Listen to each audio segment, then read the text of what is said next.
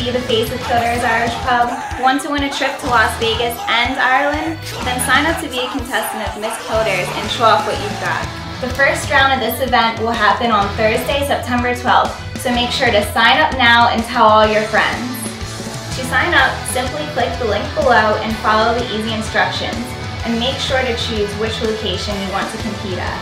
The overall winner will win a trip to Ireland and become the face of Kildare's for an entire year. So good luck ladies, and remember it's always a great day at Kildare's Irish Pub.